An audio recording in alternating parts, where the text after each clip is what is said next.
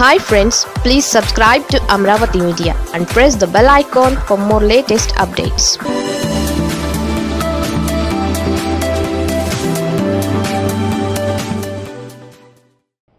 ఓట్లు అడుక్కుంటాకి వెళ్ళి ఒక ఆయన మాట్లాడుతున్నాడు. చంద్రన్న దేవుడు అంట వీళ్ళకి బుద్ధి మారదు ఈ మాటలు మారవు ఈ భావజాలం మారదు. రెండు వేల పంతొమ్మిది ఎన్నికలకు ముందు కూడా వీళ్ళ బంధువు ఒక ఆయన ఎంపీ గారు ఒక ఆయన మాట్లాడాడు.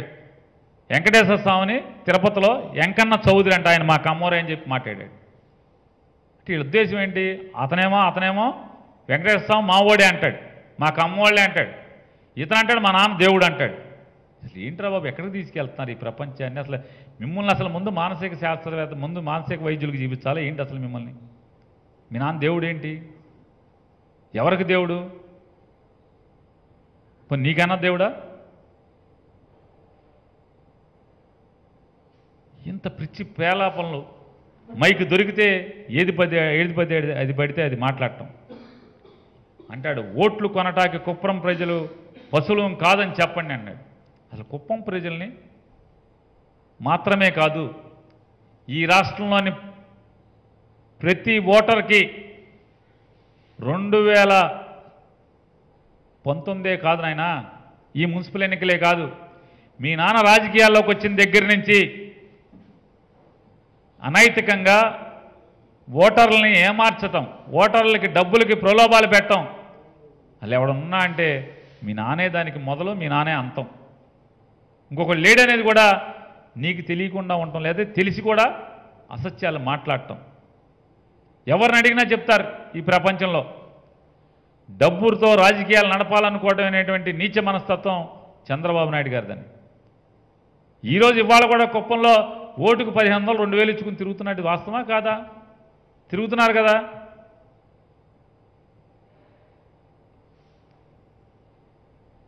అసలు ఏదన్నా కొనుగోలు బతికి ఎవరిదందంటే మీ నాన్న తప్పితే కొనుగోలు బతికి ఎవరిది? రాజకీయాల్లో మొదలుపెట్టి ఓటర్ల దగ్గర నుంచి నాడు ఎన్టీ రామారావుని పడేయటానికి ఎమ్మెల్యేల దగ్గర నుంచి ఆఖరికి మొన్న జగన్మోహన్ రెడ్డి గారి తరఫున గెలిచిన ఎమ్మెల్యేల దాకా అలా కొనుక్కునే మనస్తత్వం కొనుగోలు మనస్తత్వం మీ నాంది మీ ఇంట్లో ఉంది మీ రక్తంలో ఉందనేది ఒకసారి గుర్తుంచుకుంటే ఒళ్ళు తలుచుకుని స్పృహలోకి వస్తే మంచిదని చెప్పని వారికి సూచన చేస్తూ ఆయన మాట్లాడతాడు. రెండున్నరేళ్ళలో హంద్రీ నీవా ప్రాజెక్ట్ ఏం పీకారు రా? ఏం పీకారు రా అని. మనలోకి కుప్పంలో పంతొమ్మిది వందల ఎనభై తొమ్మిది పంతొమ్మిది వందల తొంభై నాలుగు పంతొమ్మిది వందల తొంభై తొమ్మిది రెండు వేల నాలుగు రెండు వేల తొమ్మిది రెండు వేల పద్నాలుగు రెండు వేల పంతొమ్మిది. ఎమ్మెల్యేగా గెడిచి ఏడిచినాడు ఎవడాడు? నేను కూడా అనొచ్చు. ఎవడరాడు అక్కడ ఎమ్మెల్యే రెండు పంతొమ్మిది వందల ఎనభై తొమ్మిది నుంచి అని చెప్పాను. కానీ సభ్యతా సంస్కారం ఉంది. తమర తండ్రి గారే కదా అక్కడ ఏడుస్తున్నది. రెండు వేల పంతొమ్మిది వందల ఎనభై తొమ్మిది నుంచి ఇవాళ దాకా మన నాన్నే కదా అక్కడ ఏడుస్తున్నది ఎమ్మెల్యేగా. ఏమైంది? ఇన్నిసార్లు పద్నాలుగేళ్ళు ముఖ్యమంత్రి చేశా అని చెప్తున్నావు కదా. ఈ పద్నాలుగేళ్ళలో కుప్పానికి ఎమ్మెల్యేకి ఏడిచాం కదా మనం. ఈ అందరినేవా నీళ్ళు వేయి. ఈ రెండేళ్ళలోనే జగన్మోహన్ రెడ్డి గారిని ఏం పీకావురా అని మాట్లాడుతున్నావు నువ్వు? నాలుగు కొయ్యాలి కదా అసలు మామూలుగా ఎవరినైతే చీరాలి. మీ అమ్మ నాన్నకి ఎట్టాకు బుద్ధి లేదు?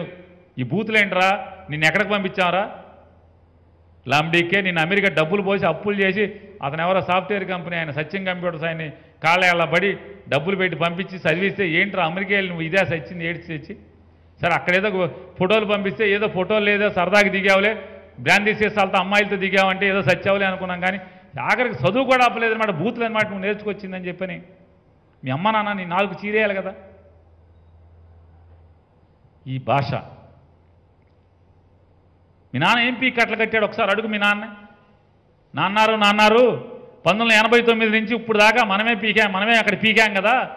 ఈ నువ్వు పీకి కట్టెలు కట్టిందంతా కూడా ఏమైంది? ఎక్కడ కట్టలు కట్టామని ఒకసారి అడగచ్చు కదా.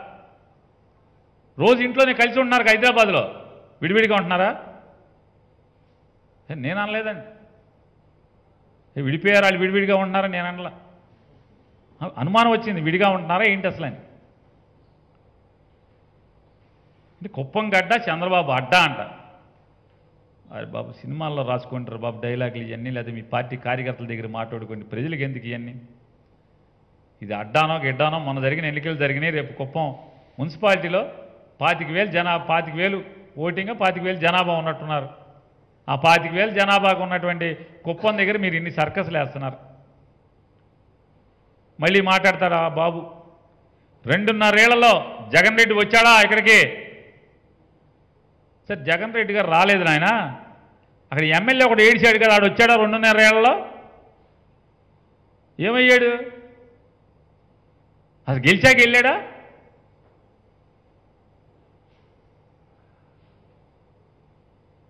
ఇప్పుడు వైసీపీ నాయకుడు మీ అమ్మ నా మీ నా మీ తండ్రి కొడుకులు మాత్రం వెళ్ళరు కానీ గెలిచి మీకు ఎమ్మెల్యేగా ఓటేస్తే మీరు మాత్రం ఇప్పుడు వచ్చారు అప్పుడు వచ్చారు. మీరు ఎప్పుడు మీరు ఎందుకు వెళ్ళారు? మీ నాన్నగారు మీరు ఇప్పుడు ఎందుకు వెళ్ళారు బాబు? కుప్పం మున్సిపాలిటీ ఎలక్షన్కి వెళ్ళారా? ఇంకా దేనికన్నా వెళ్ళారు అక్కడ? ఏమన్నా పేడలకు తగిలారంటే అక్కడ అన్న ఎవడు ఇలా నలుగు తగిలారా? లాడీయుడు కాదు. ఇరవై ఏళ్ళలో ఇరవై ఏడేళ్ళు మీ నాన్నగారు అక్కడ ఎమ్మెల్యేగా మొదలై మీ నాన్నగారు ఎన్నిసార్లు వెళ్ళారు కుప్పం? లెక్కెట్టమని మీ నాన్నగారిని చెప్పమని లెక్క. ఏదో పీకుతా పీకుతారా ఏం పీకా అని అడుగుతున్నారుగా. ఏం పీకాడు ఇరవై ఏడేళ్ళలో మీ నాన్నగారిని అడుగు. నాన్నగారు ఏం పీకారు మీరు ఇరవై ఏడేళ్ళలో కుప్పంలో అని? ఈ రెండేళ్ళలో ఈ తండ్రి కొడుకులు ఎప్పుడన్నా కుప్పంలో కనిపించారా? ఇవాళ కుప్పం మున్సిపాలిటీ ఎలక్షన్ ఉన్నాయంటే ఓ డెబ్బై ఎనభై మందిని మాజీ ఎమ్మెల్యేలని ఎమ్మెల్యేలని మాజీ మంత్రుల్ని కుప్పంలో సందుకోవడానికి గొంతుకోవడానికి కలిసి తిప్పుతున్నారు ఇప్పుడు. ఒకటి దగ్గర రెండేసి వేలు ఓటు ఓటు కోటికి రెండు వేలు ఇవ్వండి రా అని చెప్పి సంచులు పాప సొమ్మిచ్చి కుప్పంలో తిప్పుతున్నారు. అడగాలి కదా ఇక్కడ ఎమ్మెల్యే ఎవడు ఏమయ్యాడని అడగాలిగా. సిగ్గు లేదు బిడియం లేదు నోరు తెరిస్తే బూతులు.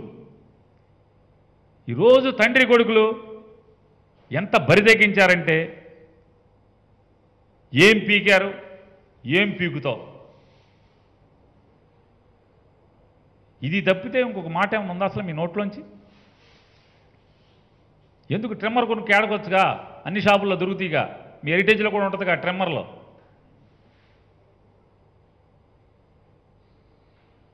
ట్రిమ్మర్లు కొను కేడవక ఏం పీకుతావు ఏం పీకావు ఇవన్నీ ఇంకోటి సమాధానం చెప్పాలేంటి? రెండు వేల పంతొమ్మిదిలో మొదలెట్టి ఇప్పుడు దాకా పీకిని అని మీకు కనపడతలేదా? ఏమేం పీకారో? రేపు కుప్పం పీకినా కూడా మీకేం కనపడదు. ఆయన చెప్తాడు పెంచుతూ పోజేయాలని మాట్లాడారు జగన్ రెడ్డి గారు. చింతపండు పెంచారు కందిపప్పు పెంచారు ఆ పప్పు పెంచారు ఈ పప్పు పెంచారు అంటున్నాడు. నువ్వు మీ నాన్న వెళ్ళినప్పుడు మామూలుగా మార్కెట్లో ఫ్రీగా అమ్మేవాళ్ళు అశోకుడును రాజులు మహారాజులు వేసినట్టు బజారులో ఫ్రీగా చింతపండు మామూలుగా పావలాకి అద్దనాకి ఇచ్చేవాళ్ళ? మీ హెరిటేజ్ ఎంత ఉండేదండి. లెక్క కావాలా?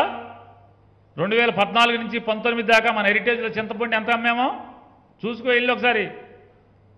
లేదా లెక్కలు ఎవరు చూస్తున్నారు వాళ్ళని ఒకసారి అడుగు. రెండు వేల పద్నాలుగు నుంచి పంతొమ్మిది దాకా హెరిటేజ్లో చింతపండు ఎంత అమ్మాము? నోరు ఉంది కదా అని. వెనకటి రోజులు ఎవరికి గుర్తుండవు అనుకొని ఇష్టం వచ్చినట్టు మాట్లాడటం. చూపించే టీవీలు ఉన్నాయి కదా రాసే పేపర్లు ఉన్నాయి కదా ఫ్రీగా రాస్తారు కదా అని చెప్పాను. కేసులు పెడుతున్నారు నా మీద. కదిలితే కేసు మెదిలితే కేసు. నా మీద పదకొండు కేసులు పెట్టారు. అయినా సరే ధైర్యంగా కుప్పంలో వచ్చి నేను నుంచున్నాను మాట్లాడుతున్నా అంటాడు. ఇక ధైర్యం మీ నాన్నదైనా నీదే చూడాలి ఇక మీది. మీ ధైర్యం. కేసీఆర్ దగ్గర నువ్వు పంపించిన ఎవడో ఒకడు మూటతో దొరికేస్తే అసలు రా సాయంత్రం దొరికాడు పొద్దునకి ఎక్కడున్నారు నువ్వు మీ నాన్న? మీరు ఒకడికి మూట ఇచ్చి పంపించారు. ఆడు సాయంత్రం మీరు మధ్యాహ్నం ఇచ్చారు ఆడు సాయంత్రం పట్టుబడిపోయాడు తెల్లారేపటికి మీ ఇద్దరు ఎక్కడున్నారు ఇక్కడ కట్ట కింద వచ్చి చేరారు. తెల్లారి పొద్దున్నే అసలు సూర్యుడు లేచేపటికి మీరు ఇక్కడ లేచారు. మీరు ధైర్యం గురించి సాహసం గురించి మీరు మాట్లాడటం. ధైర్యం అంటే జగన్మోహన్ రెడ్డిది. సాహసం అంటే మొండితనం అంటే పట్టుదల అంటే సంకల్పం అంటే జగన్మోహన్ రెడ్డిది. ఇంకో పది జన్మలెత్తిన మీరు కానీ మీ తండ్రి గారు కానీ జగన్మోహన్ రెడ్డి కాలి గోటికి కూడా ఈ ధైర్యం సాహసం సంకల్పం పట్టుదల వీటిలో తూకం వేయడానికి కూడా పనికిరానేది తెచ్చుకుంటూ బుద్ధి తెచ్చుకుంటే మంచిది మీరు. సోనియా గాంధీతో చీకట్లో చేతులు కలిపి మీ అశోక్ గజ్జి బిద్రాజ్తో మీ ఎర్రన్నాయుడితో మీ అచ్చెన్నాయుడితో వీళ్ళందరితో కాంగ్రెస్ వాళ్ళతో కలిసి కూడబలుకుని కుట్రలు చేసి కోర్టులో తప్పుడు కేసులు వేసి తప్పుడు కేసులు బనాయించి తప్పుడు మనుషులతో తప్పుడు ఇన్వెస్టిగేషన్లు చేయించి అక్రమంగా పదహారు మాసాలు బెయిల్ రాకుండా అతన్ని మానసికంగా నిర్వీర్యం చేయాలి కుంగదీయాలి రాజకీయాల్లో అడ్డు రాకుండా చూసుకోవాలని నువ్వు సోనియా గాంధీ కలిసి కుట్రలు చేస్తే మీ నాన్నను సోనియా గాంధీ కలిసి ఏం తగ్గాడు? ఆత్మసాక్షితో మనోధైర్యంతో ఈ మీ కుట్రలు మీ నాన్నగారి సోనియా గాంధీ గారి కుట్రలకి వ్యతిరేకంగా పోరాటం చేసి మీరు దొడ్డిదారిన ఇరవై మూడు మీ పాప సొమ్ముతో ఇరవై మూడు మంది ఎమ్మెల్యేలను కొనుగోలు చేసి కుంగదీయాలని చూసిన ప్రతిసారి కూడా ఇంతెంత ఒటిడి ఒటిడింతై అన్న సాందన ఇవాళ చరిత్రలో ఎన్నడూ లేని విధంగా నూట యాభై ఒక్క మంది ఎమ్మెల్యేలు అంతటితో ఆగకుండా పదమూడు జిల్లా పరిషత్తులు పదమూడు జిల్లా పరిషత్ చైర్మన్లు మేయర్లు మున్సిపల్ చైర్మన్లు ఎంపీపీలు ఈ రాష్ట్రంలో ఒక్క ఎమ్మెల్సీ పదవి కూడా మీరు గెలవలేని స్థితిలో ప్రజలు ఇవాళ పట్టం కట్టారంటే ఇంకా మీకు జ్ఞానం కలగకపోవటం అనేది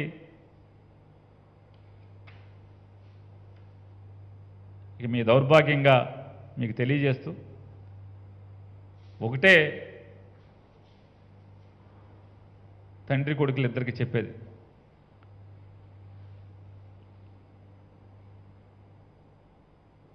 పులి కడుపున పులి పుడుతుంది.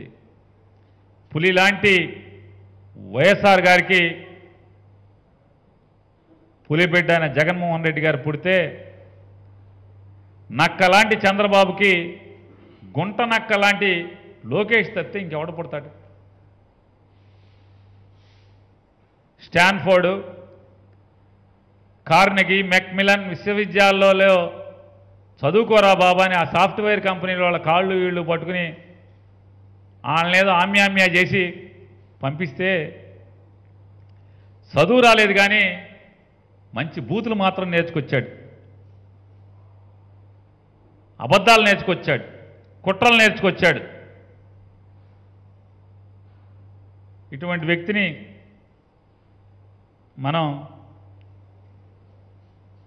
తెలుగుదేశం పార్టీకి భవిష్యత్ వారసుడిగా చెప్పుకోవడం కూడా ఆ కా ఆ పార్టీ కార్యకర్తలకి నికార్సైన కార్యకర్తలకి జెండా మోసేవారికి చాలా మానసిక వ్యధ కలిగించే విషయంగా మనం రోజు ఎంతోమంది ద్వారా నికార్సైన తెలుగుదేశం కార్యకర్తల ద్వారా అందరం మనందరం వింటున్నాం.